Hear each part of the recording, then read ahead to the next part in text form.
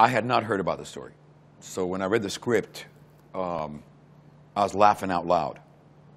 And I didn't even know it was a, a, a real story, that had really happened.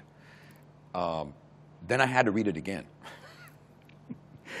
uh, just to kind of re experience uh, the absurdity of it, you know, which made me laugh the first time uh, with the understanding that this really happened.